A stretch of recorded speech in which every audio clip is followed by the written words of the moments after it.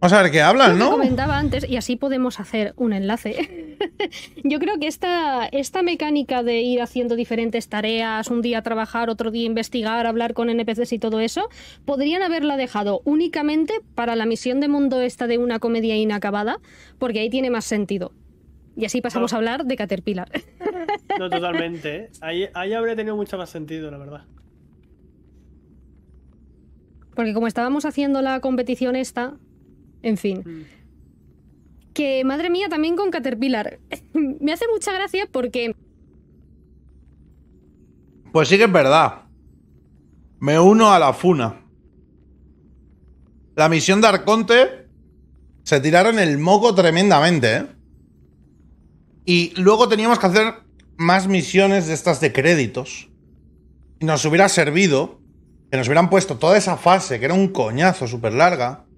La misión de mundo, a tomar por culo. ¿Sabes? O sea, sales de conseguir créditos en la misión de Arconte y luego a más créditos, tío.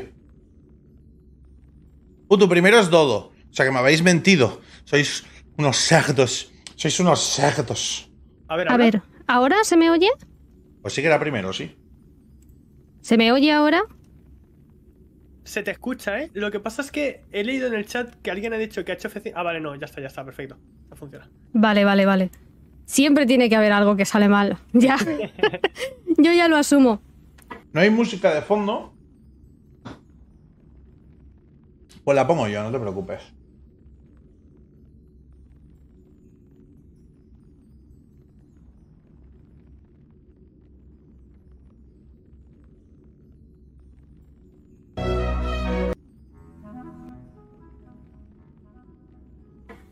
Vale.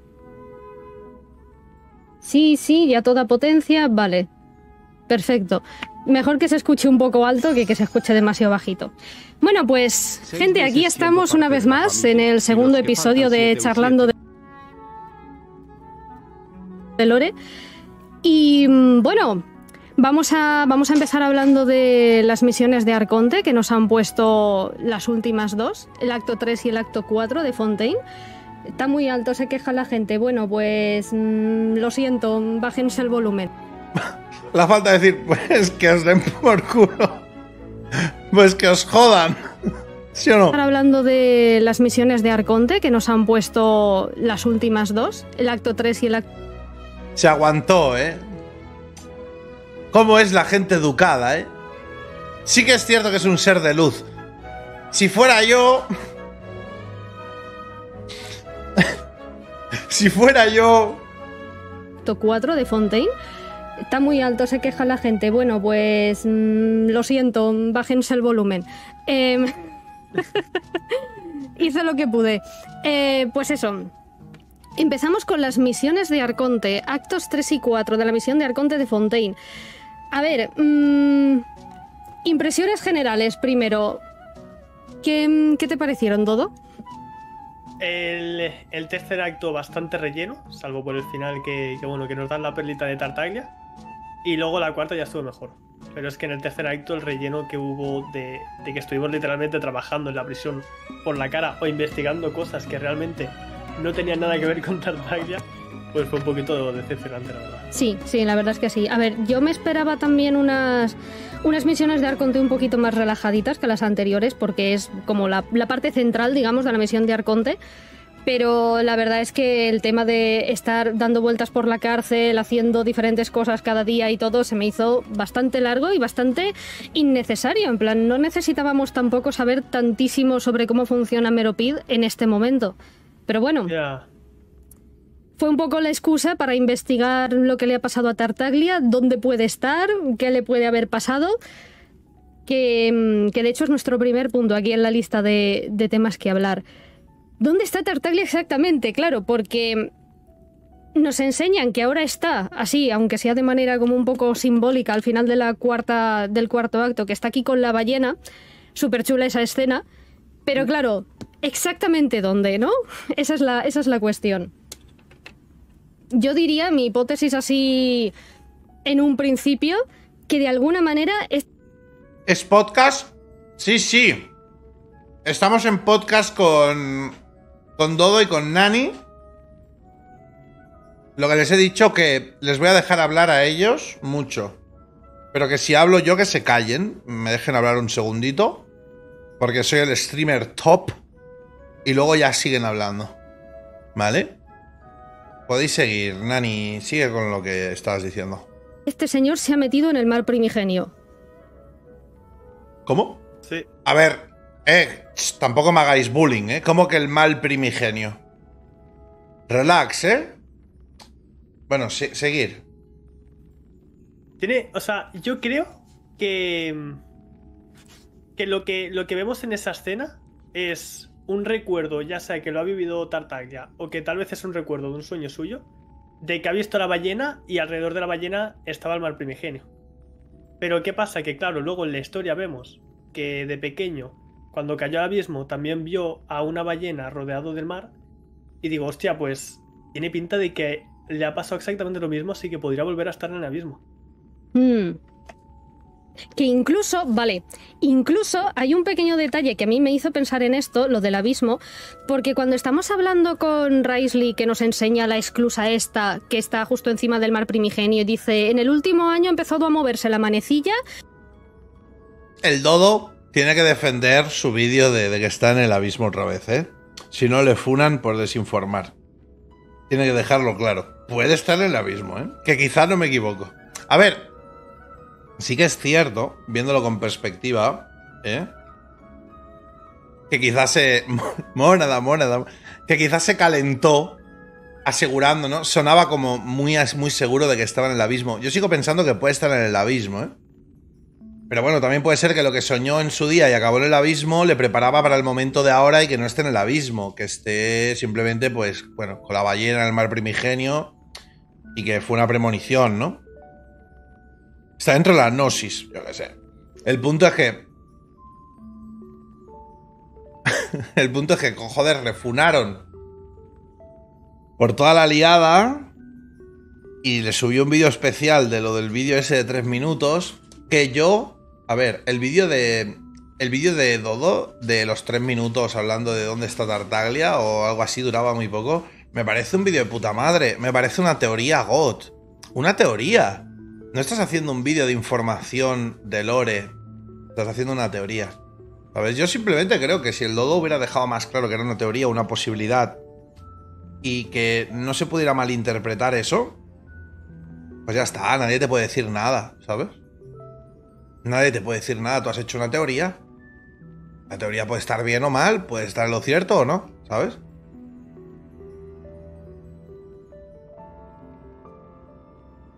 Y en los últimos dos días ha empezado a moverse mucho más y está a punto de reventar. Y yo pensé en un, momen- en un primer momento, vale, dos días no encaja con cuándo desapareció Tartaglia porque nos dicen que fue hace más tiempo. Pero cuando él cayó al abismo, para él estuvo como, creo que fueron tres meses y en el mundo real estuvo tres días. Entonces igual ese... mm, Digamos, se, ha descompensado el tiempo esta vez también. En plan, para nosotros han pasado dos días, pero igual Tartaglia lleva más tiempo ahí. Claro, es que. Es que en verdad es una locura, ¿eh? O sea, seguramente en la próxima misión de Arconte lo volvamos a ver y habrá cambiado una barbaridad si es que ha vuelto a ir al abismo. Sí, sí. Incluso podría volverse a encontrar con Skirk, Buah. que llevaba buscándola bastante tiempo. Aquí lo siento, lo siento, ¿eh? Soñar es gratis, ¿eh? Podéis soñar lo que queráis, pero vengo a traer un poquito, una pizca del ingrediente llamado hoyoverse, ¿vale? Gracias, Adam. Adam lo ha dicho. Los personajes cambiar, ahí está. Eh, en este juego los personajes nacen con la misma ropa, viven con la misma ropa, se duchan con la misma ropa, cambian con la misma ropa. A no ser que te quieran vender una skin. En ese caso, pues todavía hay algo que hacer. Mi pregunta es, ¿sale alguna skin de Tartaglia?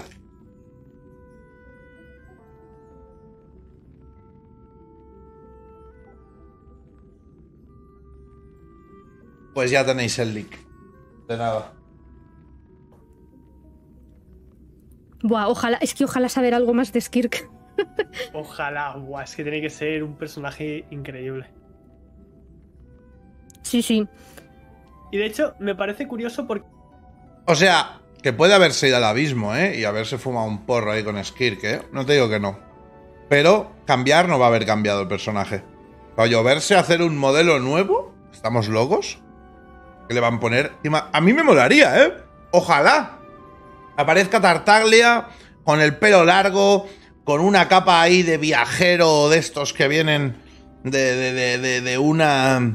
De, un timelapse, ¿sabes? Ojalá, ¿eh? mola. El concepto mola, lo han hecho muchos animes, ¿eh? Ojalá. Ahora bien, dejar de soñar. Pringaos. Porque de pequeño, eh, en la historia de, de Tartaglia se menciona que. Como que el abismo lo estaba llamando. O algo así. Sí. y, y luego en la misión lo que pasa realmente es que de nuevo el abismo como lo que lo está llamando, la ballena. ¿Y exactamente qué es la ballena? Porque la ballena la vemos ahí en el mar. wakey, La vio también de pequeño. ¿Es, ¿Es algo que tenga relación con Tartaglia directamente? ¿Tiene relación con el mar primigenio? ¿Qué, ¿Qué es?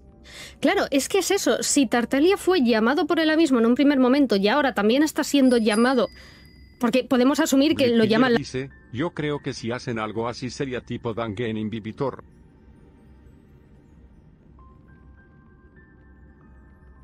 Eso lo hacen en Honkai, no en Genshin. La ballena, porque es lo que ve ahí. Pero nice try. Y en la última cutscene del acto 4 y todo, ¿por qué él en específico? ¿Tiene algún tipo de conexión ya con el abismo o es una persona random que, oye, le ha tocado? Porque sería, mm, no sé, sería demasiado random para mi gusto. Entonces, ¿por qué Tartaglia específicamente? ¿Por qué él? Es que tiene que tener una relación más profunda. De hecho, creo que Skirk eh, le mencionó como que, como que iba a despertar algún día su poder. Sí. Y, claro, su poder que es también relacionado con la ballena. No sé. Claro, ¿hay alguien aquí? Sí, yo. Em, a ver, a mí me molesta que estas teorías las dé casi por negadas, al menos a, a corto plazo, a largo plazo puede ser. Pero a corto plazo las niego instantáneo, tío. Porque Oyover se me tiene acostumbrado a lo que me tiene acostumbrado. Genshin me tiene acostumbrado a lo que hay. Y de una versión para otra, el Tartaglia va a estar igual, si es que aparece. Que no me extrañaría que no apareciera el Tartaglia, ya te lo digo. No me extrañaría para nada que ni aparezca. ¿Sabes? Que no lo sé, pero que va a estar igual. ¿Sabes? O sea, me tiene tan acostumbrado a que este tipo de cosas no pasan, de que no existen power-ups, de que no existen cambios en el avance del personaje a nivel físico o de... o de... o de... Em, de outfit ni nada por el estilo, ¿sabes? Quiero decir, que aparece, no aparece, vale, ok, pero que por desgracia, aunque me haría muchísima ilusión que apareciera en modo fucker, en modo Ichigo eh, Bankai, ¿sabes? Pero vamos, que eso. Aquí en el chat que ha apuntado algo que podría ser muy interesante. Su constelación es una ballena, bueno, un narval, y la ballena esta mm. también tiene un cuerno. Entonces, igual lo que le ha llamado es directamente su destino. Hostia, hostia, cuidado. Eh. Claro, ¿y si es su destino encontrarse, en plan, caer al abismo, encontrarse con la ballena, encontrarse con Skirk y lo que sea que le esté pasando ahora? Claro, pero es que porque es que encima también cuadra mucho la llegada de Tartaglia a Fontaine con que empiece a, moverse el tema del mar primigenio, empiecen a liar la parda. Sí. Incluso la visión deje de funcionar, es, hostia, es que es, sí, sí, mucha casualidad, ¿eh? Totalmente. Por cierto, un pequeño inciso que la gente también lo está diciendo. Sí, no hagáis leaks en el chat, por favor, ¿vale? En plan, nada de leaks. Buah, tiene que ser chungo, ¿eh? Acabo de pensarlo, chaval. Están hablando aquí de, de cosas que pueden ser y les vienen los leakers. Tartaglia aparecerá y tiene un pito nuevo. Lo he visto en los leaks. Lo ha dicho Kovac. Los leakers, sí, no, sí.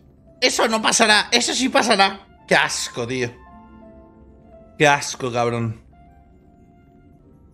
Es una putada, ¿eh? Lo estoy visualizando ahora, tío. Tiene que ser jodido hacer un podcast de teorías que algunas de ellas tienen respuesta a la siguiente versión.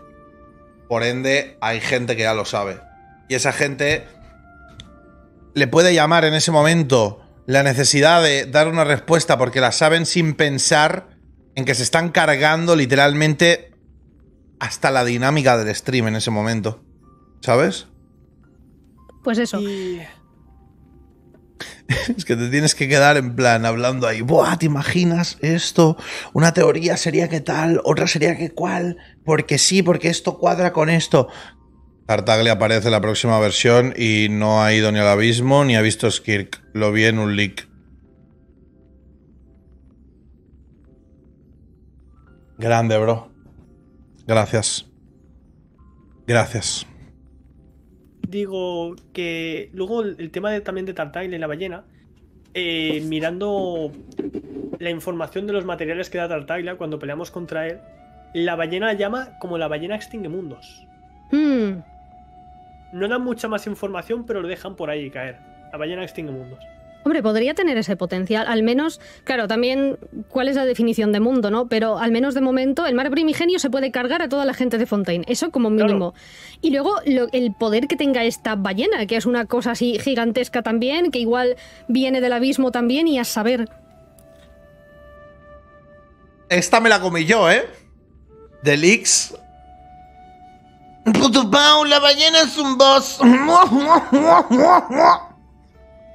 Y no todos tienen la culpa. Vale. ya podéis seguir. Nani y Dodo. Perdón, ¿eh? Me había ido un momento, no quería perderme la conversación. Podéis seguir, podéis seguir. Es que la representación del mar primigenio podría ser la ballena. Al igual que, por ejemplo, Najida es el avatar del Irminsul, la ballena podría ser como el avatar del mar primigenio, o, o al revés, o no sé. Es También que podría me- ser. Me fumó un porro y dije, vale, eh, si el mar primigenio, porque en teoría lo, ha crea- lo creó el antiguo soberano dragón para crear vida, el mar primigenio. O lo, al menos es lo que yo entendí. Entonces, si el antiguo soberano dragón hidro creó el mar primigenio y luego lo mataron, tal vez como el mar primigenio es su creación, ahora este se quiere, quiera como vengarse. O incluso tal vez hay recuerdos del soberano antiguo dragón en, Hmm. en el mar primigenio, porque los recuerdos también pueden ir por el agua. Tal vez los recuerdos est- están ahí y tal vez por eso el mar primigenio es de esta manera. E, e incluso, tal vez antigua la, la- o sea, la antigua forma de, del antiguo soberano dragón hidro era la ballena. También podría ser. Bueno, a ver, también se me ha ocurrido la No sabía que eras poeta. Pues te toca una teta. idea así de repente, hablando de, de este tema de por qué está la ballena ahí, del mar primigenio siendo una creación del soberano hidro y todo eso. Y si esta ballena, este ser del abismo, fue lo que mató al dragón, al dragón primigenio y ahora está ahí. Y esa, Hostia. ese cambio, digamos, de naturaleza del mar primigenio que mencioné. ¡Eh! ¡El enemigo de Neuvillet! ¡El némesis de Neuvillet! ¡Cuidado! mencionaba Nibilet hace un montón de tiempo de que ahora ya quita vida en vez de darla y tal, es porque ahora está el bicho este, la ballena está en el mar ahí y es un reflejo de su poder o yo qué sé, es que tampoco sabemos qué está haciendo la ballena aquí. Oye, podría ser, podría ser en verdad que lo esté controlando. Bueno, eh, Neo- ¿Será una ballena multidimensional? ¿Como la de Futurama?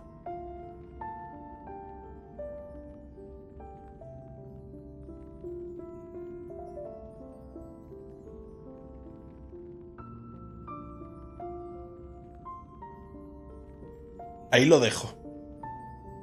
Novillet dijo que si, o sea, que si volviera a conseguir su, su autoridad de dragón, eh, que podría controlar el, el agua primordial, ¿no? Sí, podría Claro. pararlo.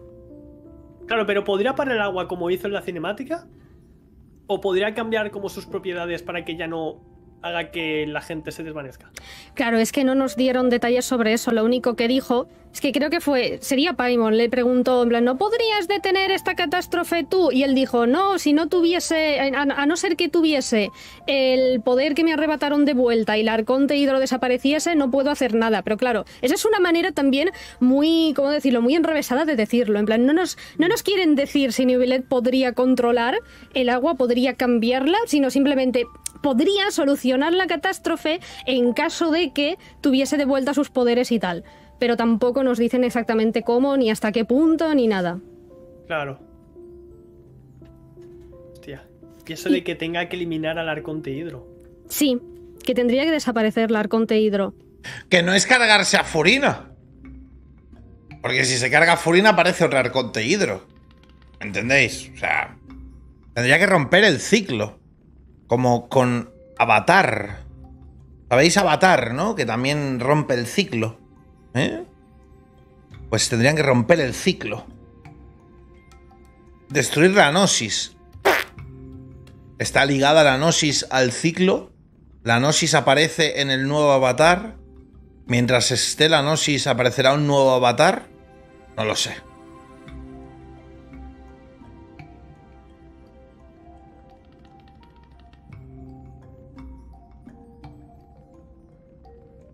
La gnosis es el poder de los antiguos dragones.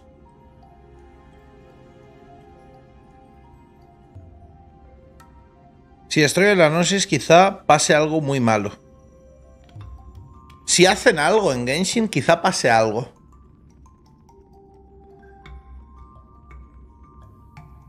Claro, eso es una. Es que. Esa es una de las posibilidades que tal vez podrían pasar, porque también, ¿qué le está pasando a Furina? ¿Vale? Eh, esto que dice Arlequino, que también me dejó loquísima, cuando va por ella, la ataca, que dice que no. En plan, que confirma que ella no tiene la gnosis y todo eso, hay un momento que dice que sintió que Furina podía estar bajo una maldición y por eso es tan débil. Es Eso, eso es curioso, ¿eh? Benaz, de hecho, no sé si lo conoces, es otro Loretuber. Eh, No, no lo conozco. Pues hace. Loretuber. Hostia, qué mal suena, cabrón. Loretuber. Parece que tengo un tubo de algo, ¿no? Parece que. Loretuber. No había escuchado esa en mi vida, ¿eh? Loretuber. Suena como. No sé, que se mete tubos en el culo o algo así.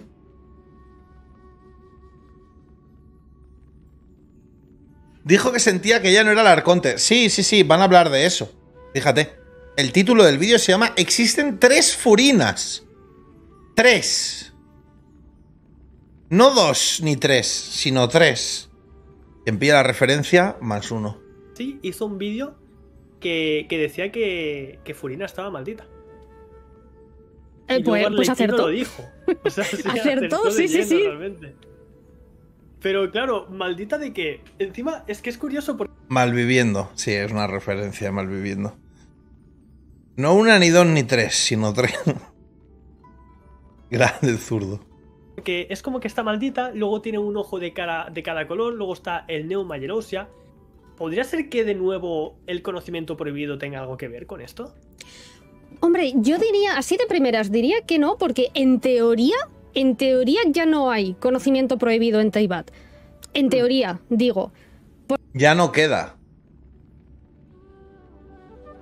Técnicamente.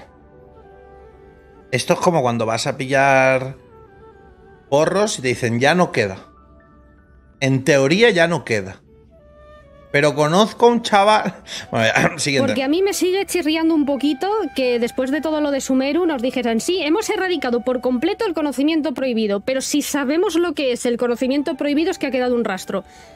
Porque si lo hubiésemos erradicado por completo, solamente el viajero sabría lo que es, igual que todas las demás cosas que hemos borrado. La furra, la Entonces, no estoy yo-. Yo sinceramente, eh, os voy a ser sincero, no quiero que hayan tres furinas. Ni tres ni dos. De verdad. Estuvo bien ya con la reina Ruca de Bata mayor y la menor y la E y la otra. O sea, es decir, ya está bien, ¿no? Yo creo que ya está bien, ¿no? Ya está bien, ¿no? La del doble arconte está un poco quemada, ¿no? Y triple arconte es el mismo recurso, pero pues cambiando los números. Sea, ya está bien, ¿no? No se les ocurre nada más, tío. Mira que meten horas de texto en el juego como para que no se les ocurra algo más. Yo espero que sí. Está un poco quemado. Un poco quemado, sinceramente.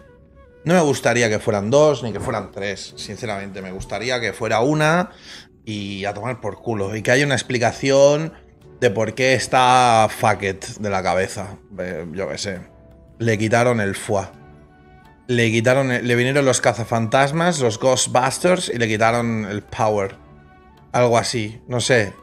Eh, puso la mitad de su alma en la máquina esa del juicio y por eso está, está boba. Está boba. Ya está. ¿Sabes? A tomar por culo. O trastorno de personalidad múltiple, disociativo, lo que sea así, también. Algo así, ¿vale? Alguna cosa así me gustaría mucho más, la verdad. Pero como al final la resolución sea que son dos furinas, de verdad. No sé. No sé, bro. Si son dos furinas o tres, es igual. Mm, me va a defraudar un poco, la verdad. Me va a defraudar un poco. 100% con- convencida de que realmente haya desaparecido por completo todo el conocimiento prohibido. Claro, es que al final, si el agua puede llevar recuerdos, es que el conocimiento prohibido podría estar por ahí. O yo que sé, Egeria. En... También. Porque al final, Egeria fue quien le dijo a Furina el tema de, de la profecía, ¿no? O sea, que ya se sabía de antes. Y de hecho, y de hecho hay también un momento hablando con Risley cuando nos cuenta cómo se fundó el fuerte Meropid, que dice que no fue una sola persona ni nada, que fue como un refugio para los exiliados, dice que hubo un momento en el que los exiliados rezaron, imploraron el perdón del arconte Egeria y ella les dijo, que lo tengo apuntado a- Quizá el arconte hidro es toda la gente de Fontaine. Sí. Y el poder de la tierra está en nosotros, son nuestros corazones. ¿Eh? Una mente colectiva. El poder de la amistad es.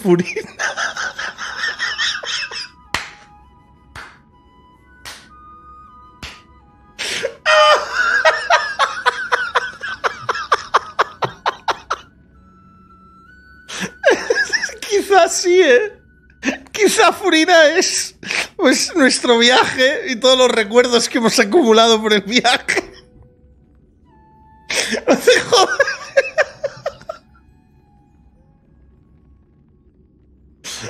Hostias. Ha degradado, ¿eh? Ha degradado nuestra conversación mucho, ¿eh? Nos hemos ido ya a un nivel... Ostras. Aquí, les dijo, eh, protejan Uy. mi secreto en el fondo marino. Tío. Y la fortaleza Meropid empezó a ser construida justo encima del mar primigenio, que es la esclusa esa que revienta. Sí. Entonces, la antigua Arconte tenía algo aquí, sabía algo, tenía algo que ver. Claro, a ver, el antiguo Arconte, por lo que sabemos, estuvo junto a la dinastía esta de Remuria, que estaba el rey Remo, creo que se llamaba así. Sí, Remo. Y claro, esa gente lo que hizo es crear a partir del mar primigenio una especie de icor que si se lo bebían podían como ascender, por así decirlo, o convertirse en oceánidas, pero permanecer en sus recuerdos o algo del estilo. Mm. Pero bueno, que no, no funcionó porque destruían Te sus veo almas. desde hace dos Pero años tal vez y tenga algo que ver con eso. varios más. Sigue así grande. Grande, muchas gracias por los cuatro mesazos.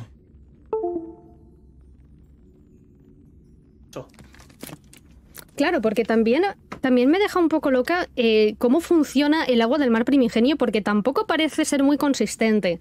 Es decir, en la primera misión de Arconte había gente que desaparecía, se convertía en agua con, un, con que le bañasen, digamos, le pusiesen un poquito de agua del mar primigenio. Luego sí que nos establecen lo de que hay un tipo de bebida que si ponen una pequeña concentración, pues como que no pasa nada y es un poco tal. Pero luego aquí, en, el, en, el- en los actos 3 y 4, Freminet droga. Es un poco tal. Es droga. ¿Eh? A ver, la droga en sí es algo así. O sea, quiero decir, la droga, casi todas las drogas, eh, si, si en exceso te mata. Pero una poca. Un poquito. ¿Sabes? Pues lo mismo es lo del agua del mar primigenio. Si te bañan en agua del mar primigenio, asciendes, desapareces, se destruye tu alma, te desvaneces, te licuas, eh, te conviertes en, en H2O. Pero un poquito, un sorbito, pues. ¿Sabes? está nadando, se encuentra con este agua, traga un montón de agua y sigue vivo. Entonces ya es como, ¿cómo raro. funciona esto exactamente? Tal vez al estar mezclado con el agua normal, como que no te hace desaparecer, pero.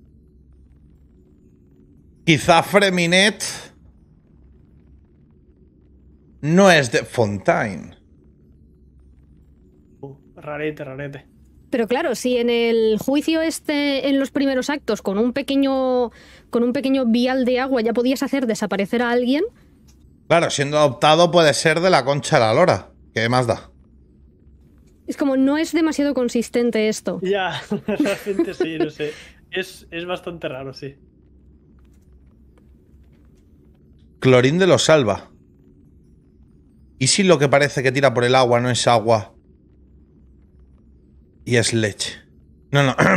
Digamos. Claro, tal vez es eso, ¿no? Que está diluido, o sea, que ha entrado muy poca cantidad de mar primigenio y ya está muy diluida en, Mm, en el agua. Entonces, tal vez no llega a hacer tanto. puede ser, puede ser. Sí, eso, eso está diciendo también la gente en el, en el chat, que igual estaba diluida. Pero sí, ¿no? Es un poco duda el asunto, ¿no? O sea, es un poquito raruno, ¿eh? Que el Freminet, si es de Fontaine, no se muriera por el agua primigenia esto. O sea, con todo el respeto a los fans de Freminet, pero Freminet es otro caso como el de Chiao. Debería haber muerto. Y que la trama se complicara con Scaramouche y demás. Digo, con Scaramouche, con, con Arlequino y demás. No, no, sí, a ver, Freminet se fue por ahí en plan buzo, nos vendieron, nos vendieron el byte en el stream de la 4.0, nos lo volvieron a vender en la 4.1, salía Freminet yéndose a la verga y se marcaron otro chiao. Nadie está hablando de esto, tranquilos, ya lo hablo yo. Literalmente Freminet debería haberse ido a la mierda, debería haber muerto y a tomar por culo, pero claro, más fácil, pues, no matar a nadie jugable, ¿sabes? qué sé yo.